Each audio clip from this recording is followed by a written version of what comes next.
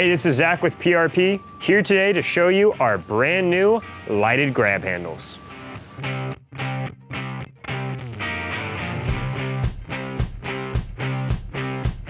One of the most common problems in off-road is not having enough light in your cab during the night.